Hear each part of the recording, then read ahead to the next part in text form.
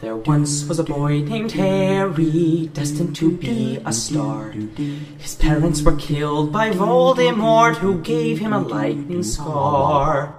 Yo, Harry, you a wizard. Harry goes to Hogwarts, he meets Ron and Hermione. McGonagall requires he play for Gryffindor. Draco is a daddy's boy, Quirrell becomes unemployed. The Sorcerer's Stone is destroyed by Dumbledore. Ron breaks his wand, now Ginny's gone, and Harry's in mortal danger. Tom Riddle hides his snake inside his ginormous secret chamber. Harry blows up Aunt Marge. The Dementors come and take charge. Lupin is a wolf, the rat's a man, and now the prisoner is at large. They use time travel so they can save the prisoner of Azkaban, who just so happens to be Harry's godfather. I don't really get it either. Harry gets put in the Triwizard Tournament with dragons and mermaids, oh no, and we're called and gets